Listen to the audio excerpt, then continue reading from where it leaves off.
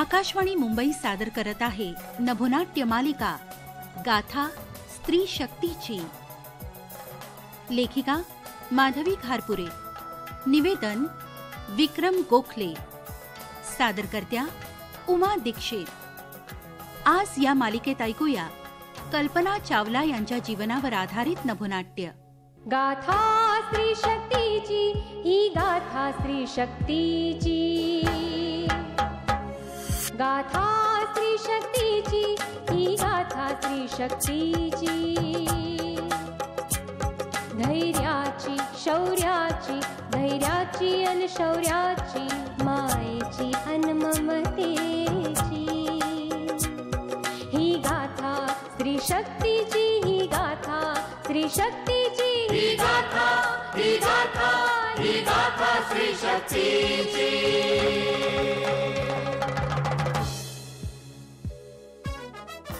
भारताची पहिली स्त्री अवकाश यात्री एक तेजोशलाका पृथ्वी तलावर अवतरली. आपल्या दैदिप्यमान यशानं सगळ्या भारतवर्षालाच नाही तर सगळ्या जगाला दिपून नाहीशी झाली. कायमची. माणूस किती वर्ष आयुष्य जगला? यापेक्षा जे आयुष्य जगला ते किती उत्तम पद्धतीनं उत्तम रीतीनं जगला? यावर त्याच्या जीवनाची सार्थकता अवलंबून असते. कल्पना अजरामर झाली. कल्पनासमोर कुणीही एक असा आदर्श नव्हता. अनेक चांगल्या गोष्टींचा संचय मनाशी करून तिनं आपल्या आदर्शाचा ध्रुवतारा तयार केलेला होता. त्यात समाविष्ट होती आपल्या महान पंतप्रधान इंदिराजी गांधी यांची चांगल्या गोष्टींसाठी असलेली ईर्षा आपल्या जे आर डी टाटांच्या अंगी असलेली जिद्द आणि आपल्या किरण बेदींचा कमालीचा कर्मवाद. भर द्यायचा असेल तर आपल्या हातांवर द्या नशिबावर नको. अशा अनेक प्रकाशकणांचा ध्रुवतारा कल्पनानं निर्माण केला. आणि शेवटी त्या अढळ पदावर ती विराजमान झाली. तिनं नवीन वाट निर्माण केली. आळवाच्या पानावर पाण्याचा थेंब मोत्यासारखा चमकावा तशी चमकली आणि क्षणात घरंगळून नाहीशी झाली. माणसाच्या शरीराची राख होते पण त्याच्या विचारांची राख होत नाही. स्वप्नांकडून सत्याकडे जाणारी वाट कल्पनानं अस्तित्वात आणली. तिच्या या अजरामर जीवनाचं हे नाट्य.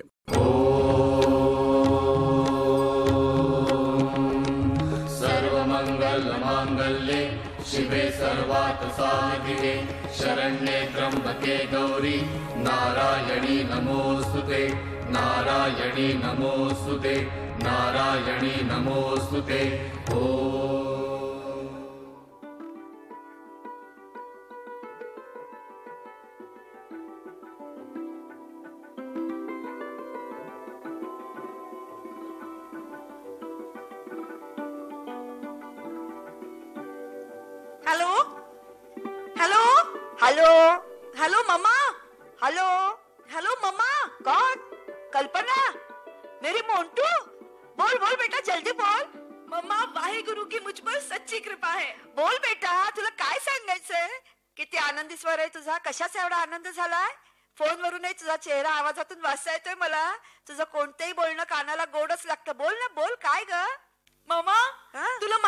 संशोधक म्हणून नासात काम करताना अवकाश यात्री बनायचं माझं स्वप्न मी विसरले नव्हते. हा. अवकाश यात्री विभागात प्रवेश मिळवण्यासाठी मी अर्जही केला होता. हो हो. आणि आता अवकाश वीरांच्या पंधराव्या तुकडीत माझी निवड झालीये अगं काय सांगतेस काय शाबास मोंटू शाबास. वाय गुरु तुला यश देईलच.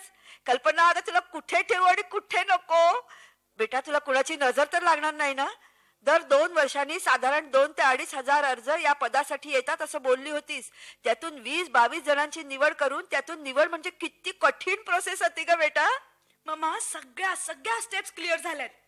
दूरवरचं स्वप्न आवाक्यात आलंय. मम्मा पप्पा आहेत का ग? त्यांना बोलव ना फोनवर. त्यांनाही प्रत्यक्ष सांगू दे मला. हो हो बोलवते बोलवते. अगं आनंदात मी पण विसरलेस. आता तुझा संजय दादा घरात नाहीये ग. थांब थांब पप्पांना फोन देते हा. पप्पा! ओ मोंटू के पापा जरा जल्दी आना। अरे मैं तो ऊँचा सुनता नहीं। क्यों इतना ज़ोर ज़ोर से चिल्ला रही हो? सुनिए तो किसका फ़ोन है? अपनी कल्पना फ़र्स्ट स्पेस वुमन बन गई है। अरे ब्रेहो ब्रेहो माय चाइल्ड कॉंग्रॅच्युलेशन पप्पा किती मोठ्याने ओरडताय अरे कोण बाप हे? ऐकल्यावरती ध्यानाला बसेल का? पप्पा शाळेत कॉलेजात हॉस्टेलला असताना। मी खोलीच्या भिंतीवर विमानं अवकाशयानं ताऱ्यांच्या राज्यात विहार करत असतानाची चित्र चिकटवली होती. तेव्हा तुम्हाला ते मनापासून खूपसं आवडायचं नाही. पण आता ती सगळी चित्र जिवंत झालीत पप्पा. त्यांना प्राण मिळालाय. ती अवकाशयानं आता मी हाताळणार आहे पप्पा मी.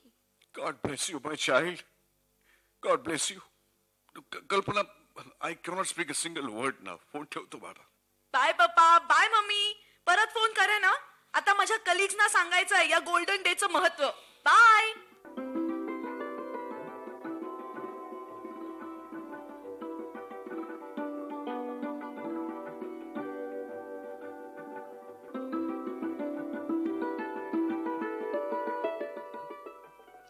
तुम्ही आता पहिल्या अवकाशयात्री स्त्रीची आई म्हणून जगभर प्रसिद्ध होणार. आणि आपण बाबा म्हणून नाही वाटत? काही म्हणा हं, पोरीनं नशीब काढलं. चिवट वृत्तीनं झुंजत राहायचा वारसा तिला तुमच्याकडूनच मिळाला. यशस्वी व्हायची जिद्द तुमच्यातून थेट तिच्या रक्तातच मिसळली. एकोणीसशे सत्तेचाळीसच्या भारत पाक फाळणीमध्ये दोन्हीकडच्या सीमेवरील भागात कुटुंबांची वाताहत होते काय? पिढ्यानपिढ्या मुळं रुजलेली मायभूमी सोडून बेवारस होऊन जीवाच्या भीतीने आम्ही पळतो काय? आणि दिल्लीतून कर्नाल गावात येतो काय? आमच्या बनारसीलाल चावला कुटुंबाची हकीकतच भयानक आहे. मला वाटतं तेव्हा तुम्ही फक्त पंधरा सोळा वर्षाचेच होतात नाही का? हो. पाकिस्तानात शेहूपुरा गावात आम्ही राहत होतो. प्रत्यक्ष दंगा झाला तेव्हा बाबा अमृतसरला गेले होते. परिस्थिती बिघडली तर काकांकडे जायला त्यांनी मला सांगितलं होतं. मी खरंच आईला आणि दोन भावांना बहिणींना घेऊन काकांकडे चुरकाना मंडीला गेलो. दंग्यात काका मारले गेले. आम्ही सर्वांना घेऊन कसबस भारत गाठले. तुम्ही डायरीत लिहिलेलं मी वाचलंय. पोत्यात कांदे बटाटे कोंबावेत तशी माणसं डब्यात कोंडलेली. लोकांना डब्यात बसवून तुम्ही डबे जोडले जाणाऱ्या सांध्यावर बसलात. बेशुद्ध पडलात. डबक्यातलंच पाणी तोंडार मारलं. नरक यातना सोसत अमृतसरला पोचलात. तुमच्या बाबांना म्हणजेच लाभमलजीना तुम्ही सर्वजण अगदी निर्वासितांच्या छावणीतच सापडलात. पडक्या मशिदीच्या खोलीत आम्ही वीस जण राहत होतो. राखेतून उठून पुन्हा भरारी घेणाऱ्या फिनिक्स पक्षाची जिद्द त्यांच्याजवळ होती. शीख धर्माच्या शिकवणुकीवर त्यांचा विश्वास होता. पडतील ते कष्ट केले. काही वेळेला फसवणूक वाटायला आली पण शेवटी मीही स्थिरावलो. ज्याचा शेवट गोड ते सगळंच गोड नाही का? आणि शेवटाचा गोड म्हणजे या बनारसी लालचा एका डॉक्टरच्या मुलीशी संयोगिता खरबंदाशी विवाह झाला. हसताय काय? काही वाईट तर झालं नाही ना? लग्न झालं सोन्यासारखी चार मुलं झाली सुनीता दीपा संजय आणि आपली मोंटू. सगळी शिकली आपापल्या पायावर उभी राहिली. बिन्नी मिलच्या कपड्यांचा व्यवसाय करता करता टायर मॅन्युफॅक्चरिंगच्या व्यवसायात शिरलात.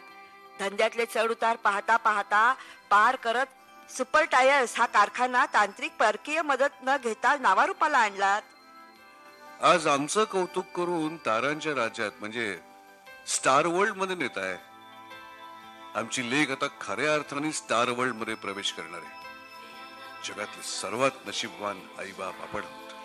तिच्या लहानपणच्या किती किती गोष्टी आठवत आहेत नाही का हो? संजयचा आणि तिचा अगदी मेतकूट काही विचारायची सोय नाही तुझं माझं जमेना आणि तुझ्या वाचून मला करमेना.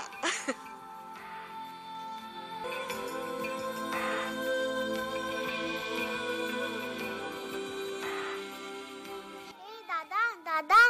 काय ग मोंटू? सारखी काय कटकट करत माझ्या मागे फिरतेस? मला ही भावली नकोय. मग काय हवंय तुला? मला ना मला तुझ्या हातातलं विमान हवंय. ते माझं आहे. मुलींना काय करायचंय विमान? तुम्ही बाहुलीशीच खेळायचं. असं कोण म्हणत? मला विमान हवं म्हणजे हवं म्हणजे हवं. मी फेकून दिली ही बाहुली मोंटू तू वेडी आहेस का? असं फेकून नाही द्यायचं. मला सांग तू असं का वागतेस? का त्रास देतेस? नको ते हट्ट का करतेस? तुलाही मगाशी भारतुकलीचा खेळ देत होती. तो पण तू रागाने भिरकावलास. आणि म्हणालीस मला छोटीशी सायकल आणून द्या. मला सायकल खेळायची. भातुकली नाही. दादा खरंच खरंच. मला हे खेळ आवडत नाहीत. सगळ्या मुली भातुकली खेळतात. शी मुलींनी काय सायकल विमान खेळू नये? तुझं काम काही औरच आहे मोंटू. चल घे हे विमान. रडू नको. आणि आता आपण दोघं मिळून आपल्या बागेतल्या झाडांना पाणी घालूयात का? आईने सांगितलंय. हो चल घालूया. जा तू बालदीतून पाणी भरून आण. मी तांब्या तांब्याने पाणी घालतो. ए वेडेबाई जा ना. अ अ काय करतेस? दादा तू मला फसवतोस ना? मला बालडी आणायला लावतोस आणि तू जागेवर उभं राहून पाणी घालणार? ते काही नाही. तू बालडी आणायला जायचं आणि मी तांब्या तांब्यातनं पाणी घालणार. ते काही नाही हा मोंटू. मी पाणी घालणार. नाही नाही मी पाणी घालणार. हे असं नाही करायचं. मी नाही, घालणार. मी मी मी नाही. पाणी घालणार. मी मी घालणार आहे. मी घालणार आहे. मी घालणार. मी.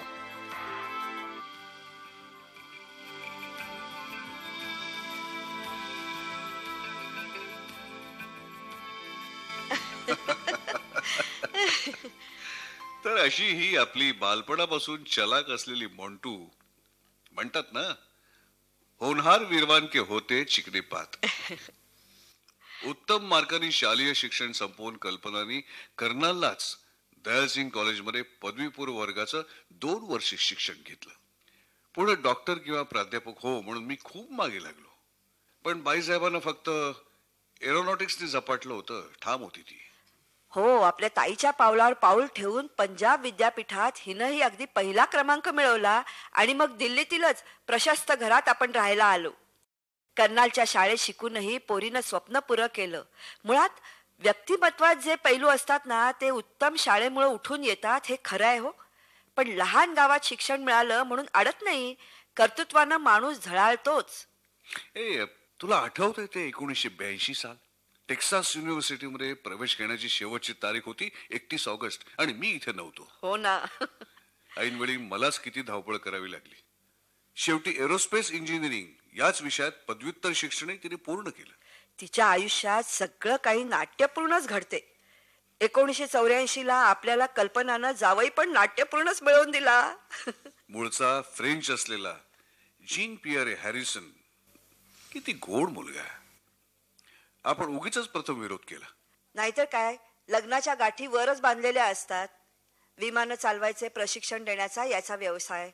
जेपीनं या हसऱ्या आणि महत्वाकांक्षी मुलीच्या मनात स्वप्न फुलवली. विमानाचे थरारक खेळ स्कुबा डायव्हिंग अनेक गोष्टी शिकवल्या. तिथेच तर धागे जुळले ना? झालं. काही म्हण. पण जेपी आणि मोंटूचा विवाह म्हणजे आदर्श सहजीवन. तिच्या स्वप्नांना समजून जेपीने पूर्णपणे साथ दिली.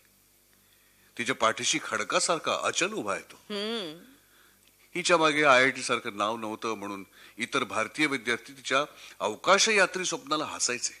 पण तिच्या यशाला हा जेपी ही तितकाच कारणीभूत आहे. हो ना. हम्म चला आता किती वेळ बोलत बसणार आहोत आपण? आपली मोंटू अवकाशात सोळा दिवस राहून पाच डिसेंबरला परत येईल ना तरी आपण तिच्याबद्दल बोलतच राहू. चला उठा उठा आवरून घ्या. बातमी पसरली ना की परत फोन कॉल्स आणि लोकांचं येणं जाणं सुरू होईल. चला चला. तो तो तो.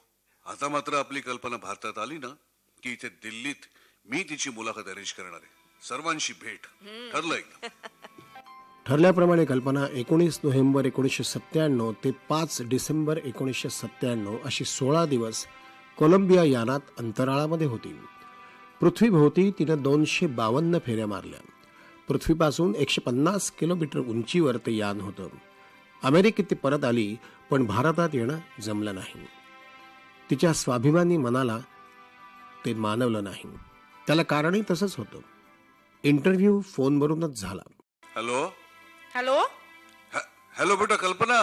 हॅलो? हाँ कल्पना मैं पापा बोल रहा हूँ. पापा हे सांगायला हवं का? मी ओळखणार नाही का तुमचा आवाज? अरे अभिनंदन बेटा. वाहे गुरु तुम्हें सलामत रखे. बेटा इथे पत्रकार आलेत तुझ्या भारतात येण्याविषयी सारखी चौकशी करतायत. शेवटी मी म्हंटल त्याला की मी आत्ता फोन करतो. तुम्ही प्रत्यक्षच विचारा तिला. पप्पा भारतात यायचं म्हणजे? कल्पना तुला स्वर का बदलला? काय झालंय? नो नथिंग टू वरी पप्पा. पत्रकारांना फोन द्या. Hello good morning ma'am and congratulation also thanks a lot madam खरोखरच आम्ही आणि सर्व भारतीय आपली अगदी आतुरतेने वाट पाहतोय. लाखो करोडोना तुम्हाला पाहायचंय ऐकायचंय केव्हा येत आहे आत्ता ते शक्य नाही हे निश्चित. वेळेवर मीच आपणहून तसं कळवेन. आपल्याला काही विचारायचं असेल तर now I am free for twenty twenty five minutes ask me all right madam आम्ही पत्रकार माणसं मिळेल ती संधी घेणारच. वीस ते वीस मिनिटं ओके मॅडम अवकाश यात्री म्हणून निवड होताना एज्युकेशनल क्वालिफिकेशन आणि नासाचा एक्सपिरियन्स वगैरे गोष्टी सोडून इतर कोणते निकष लावले जातात? आणि एक भारतीय म्हणून तुम्हाला याचा काही फायदा मिळाला का? हो तर? शारीरिक तंदुरुस्ती विमान चालवायचं ज्ञान वय याबरोबर भावनिक व्यक्तिमत्वही पाहतात. ओके. स्वभाव कौटुंबिक पार्श्वभूमी महत्वाची. समाजशास्त्रज्ञ म्हणतात की विभक्त एक पालक असलेली मुलं कसोटीच्या वेळी खंबीरपणात कमी पडतात. पण मला या गोष्टीचा फायदा झाला. संस्कारी घर एकत्र कुटुंब पद्धत यांनी मला खूप काही शिकवलं. मॅडम एकोणीसशे अठ्ठ्याऐंशी ला आपण डॉक्टरेट मिळवलीत. एरोस्पेस इंजिनिअरिंग हा विषय होता. त्याचा काही तुम्हाला फायदा झाला असेल ना? शंभर टक्के.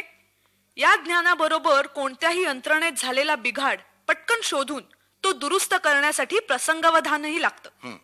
काही वेळा दुरुस्ती कशी करायची हे पण संगणक सांगतो. पण अवकाशात वेग इतका प्रचंड असतो की लहानशी चूक महागात पडते. चूक म्हणजे मृत्यू. हेच समीकरण समोर असावं लागतं. सी मॅडम शारीरिक स्थिती कशी असते? त्याबद्दलच्या काही गमती जमती आम्हाला सांगा. लहान मुलांना हव्यात. अवकाशात गुरुत्वाकर्षणाचा अभाव असल्याने सगळ्या गमती जमती होतात.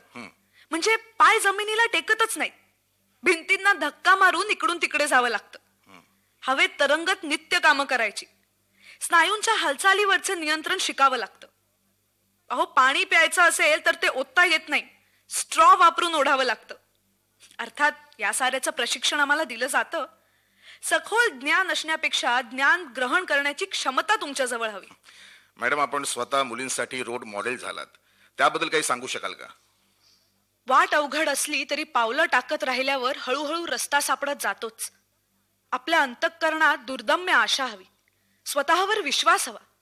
सर्व काही झोकून देऊन एकलव्यासारखं ध्येय गाठण्याची ईर्षा जागृत ठेवली की सगळं काही साधता येतं.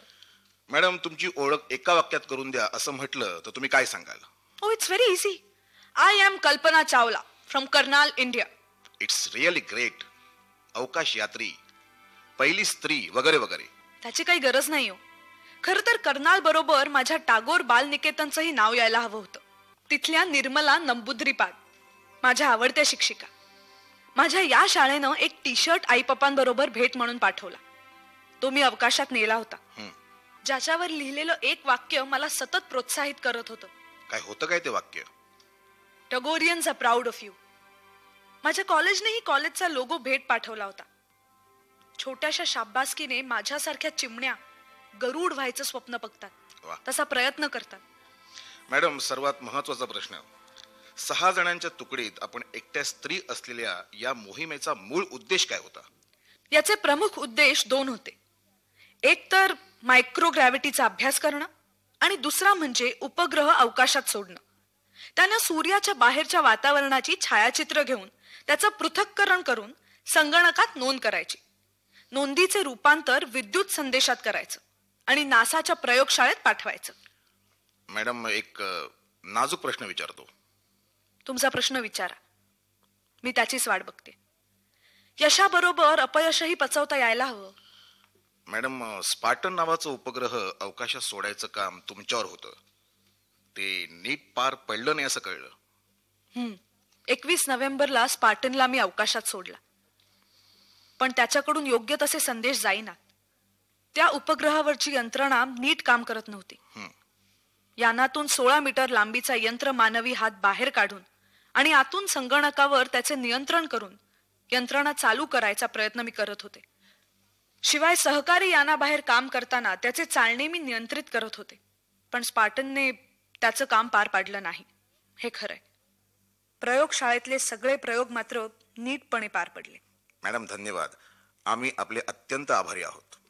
टेलिफोनिक इंटरव्ह्यू बद्दल आय एम रिअली सॉरी. आपण मला समजून घ्या. प्लीज माझ्या पप्पांना जरा फोन देता? येस मॅडम हा बेटा. तुझा बराच वेळ घेतला. आणि महत्वाचं म्हणजे तू आत्ता इंडिया त्याला उत्सुक नाहीच असं कळलं. यू आर राईट पप्पा बेटा घडलेल्या गोष्टीला स्पार्टनच्या अपयशाबद्दल तू इतका विचार करतेस. पप्पा रिअली स्पीकिंग नासातील अधिकाऱ्यांमध्ये स्पार्टनबद्दल कुजबूज आहे. यानातील यंत्रमानवी विभागाचे प्रमुख पद माझ्याकडे असल्याने साहजिकच बोट माझ्याकडे. बेटा अमेरिकेत श्रमाचे बुद्धीचे चीज होते खरे पण जेव्हा चूक होते तेव्हा परिणामांनाही सामोरं जावं लागतं हे तुलाही चांगलं ठाऊक आहे. नासाच्या उच्चस्तरीय समितीकडून चौकशी होणार आहे पप्पा. आणि कसोटीच्या वेळी मी स्वतः हजर राहणं माझं कर्तव्य ठरतं. भारतात माझ्यावर मान सन्मानाचा वर्षाव होणार. पण आपले निरपराधित्व सिद्ध झाल्याशिवाय आपण ते स्वीकारायचं नाही असं मी ठरवलंय. त्यानंतरच मी माझ्या देशात माझ्या भारतात परत येईन. बघता बघता दोन तीन वर्षांचा काळ सरला. दोन हजार साली S T S one O seven या कोलंबियाच्याच एका फेरीसाठी पुन्हा कल्पनाचीच निवड झाली. ही अवकाश यात्रा दोन हजार तीन साली ठरवण्यात आली होती. या फेरीत ती कमांडर म्हणजे प्रमुख आणि फ्लाईट इंजिनियर होती. सहा यात्री अनेक शास्त्रीय उपकरणं संगणक यांच्यासह कोलंबिया नावाचं ते यान अवकाशात फिरवण्याची जबाबदारी तिच्यावर पडली होती. सोळा जानेवारी दोन हजार तीनला कोलंबिया अवकाशात झेपावलं.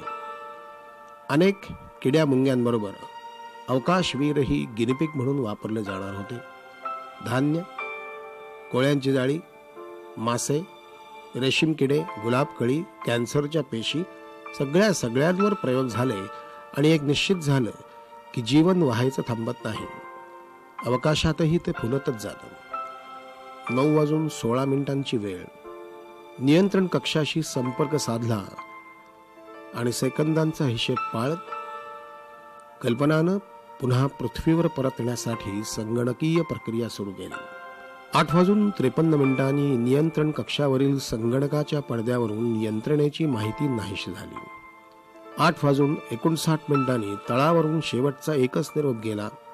हा निरोप मिळाला. आणि आणि नियोजित वेळेआधी सोळा मिनिटं स्फोट झाल्याचा आवाज झाला. निरभ्र आकाशात पृथ्वीच्या दिशेनं तिरकी झेपवणारी जळती रेषा दिसली. कोलंबिया जळून नष्ट झालं. उल्कापात झाला. तेज अस्ताला गेलं.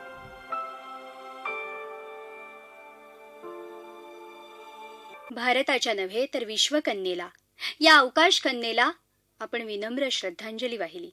तिचं विनयशील गुणग्राही आणि निरहंकारी व्यक्तित्व कसं होतं ते समजावून घेतलं. पण तिच्या मातापित्यांकडून काही मार्गदर्शन व्हावं म्हणून मी कल्पनाच्या बाबांना विनंती करते की त्यांनी चार शब्द सांगावेत. उपस्थित असलेले सर्व अवकाशप्रेमी विज्ञानप्रेमींनो तुमची कल्पना सर्व सहकाऱ्यांची केसी आणि आमची मंटू ही पृथ्वी सोडून विश्वातच साभावली. ज्याचा ध्यास विद्यार्थी दशेपासूनच तिने घेतला त्या विश्वातच ती त्या अवकाशातच तिचं कण कण सामावून गेला. ती नेहमी म्हणायची मी कर्नालची मी भारताची याचा मला अभिमान आहेच. पण I belong to the galaxy and I am my intelligence मी म्हणजे माझी बुद्धी. लक्षात ठेवा की स्त्री ही पुरुषा इतकीच सृजनशील असते. पण प्रत्यक्षात तिची सृजनशीलता मुलं जन्माला घालणं आणि परंपरा जपणं यात खर्ची जाते. सर्वात मोठी संपदा ही बुद्धिमत्ता आहे. एवढंच सांगतो. त्यांनी प्रत्यक्षात आणलेला संदेश अमर आहे. स्वप्नाकडून सत्याकडे जाणारी वाट खरोखरच अस्तित्वात आहे. कल्पनाची आई काही बोलू शकणार नाही. पण त्यांचं फोनवरचं एक संभाषण मला अजूनही आठवतंय.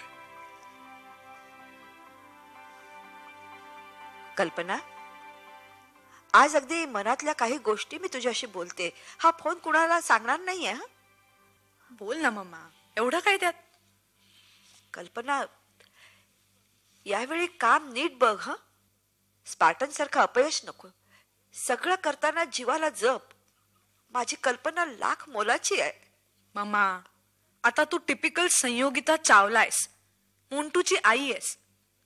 अगं समज मृत्यू आला तर काय फरक पडणार आहे? कल्पना. मम्मा घाबरू नकोस. मी यश घेऊनच परत येणार हे नक्की. पण मृत्यूची भीती का बाळगतेस? तू मृत्यू संबंधात बोलूच कशी शकतेस ग? आई एक लक्षात ठेव. समजा माझा मृत्यू झालाच तर माझ्या कामाची चर्चा अधिक होऊ दे. मृत्यूची नाही. समाजाला विज्ञानाभिमुख करण्यासाठी कल्पना चावला. ही प्रवृत्ती आणि वृत्ती मुलींची बनू दे. आज स्त्रियांना शंभर टक्के विज्ञानवादी बनू दिलं जात नाही. ही गोष्ट सत्य आहे. अगं आपल्या अमृतसरला लाखो लोकांच्या रांगा सुवर्ण मंदिरासमोर लागतात. लागू देत. पण त्यातल्या काही हजार पायांना प्रयोगशाळाही दिसू देत. वर्क इज गॉड हे कळायला हवं. मोंटू मोंटू अगं किती तत्ववेत्यासारखं बोलतेस तू. माझी मोंटू कधी केसी झाली कळलंच नाही. आपले पंतप्रधान इंद्रकुमार गुजराल यांच्याशी किती लहान मुलीसारखं बोलून सांगत होतीस की आपली पृथ्वी एक धुळीच्या एवढ्याशा ठिपक्यासारखी दिसते असं म्हणून टाळी वाजवणारी माझी बावली तत्वज्ञान सांगते. तरी तो नजर उतारनी पडेगी. अब मैं फोन रखती हूँ. तसल्ली जो मिल गई. मगर फिर भी ये सच है कि किसी भी धोखे से बच के रहना हा बेटा. मम्मा इतकं सांगूनही पुन्हा तेच हरदासाची कथा मूळ पदावर. मम्मा अवकाशात मृत्यूच तुमच्या भोवती घोटाळत असतो. कल्पना. धोका पत्करणं हा आमच्या कामाचाच एक भाग आहे.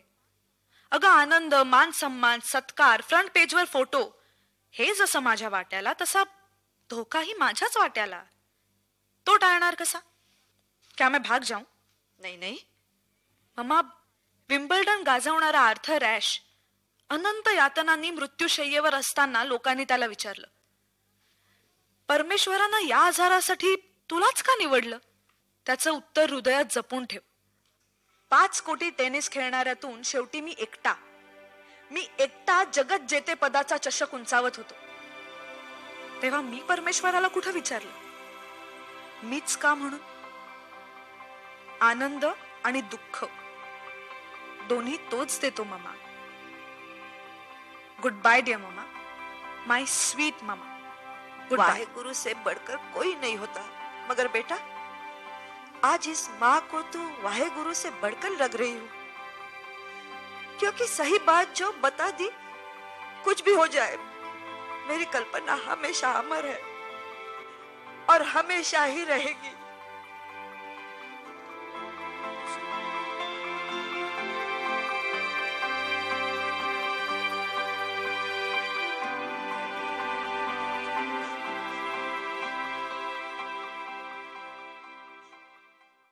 श्रोते हो आत्ताच आपण गाथा स्त्री शक्तीची या मालिकेत कल्पना चावला यांच्या जीवनावर आधारित नभोनाट्य ऐकलत. लेखिका माधवी खारपुरे शीर्षक गीताचं संगीत अभिजित लिमये शीर्षक गीत गायिका सोनाली भाटवडेकर आणि सहकारी यातील भूमिका आणि कलावंत आई संयोगिता उज्ज्वला जोग बाबा प्रदीप वेलणकर. पत्रकार उदय साळवी आणि कल्पना चावलाच्या भूमिकेत क्षिती जोग निवेदन विक्रम गोखले विशेष सहभाग स्वाती सुब्रमण्यम निर्मिती सहाय्य संतोष शिखरे शीर्षक गीत आणि सादरकर्त्या उमा दीक्षित. गाथा स्त्री शक्तीची ही गाथा स्त्री शक्तीची. गाथा स्त्री शक्तीची ही गाथा स्त्री शक्तीची. धैर्याची शौर्याची धैर्याची अन शौर्याची मायेची अन ममतेची. ही गाथा स्त्री शक्तीची ही गाथा स्त्री शक्तीची. ही गाथा ही गाथा ही गाथा स्त्री शक्तीची. आकाशवाणी मुंबई केंद्राची निर्मिती होती.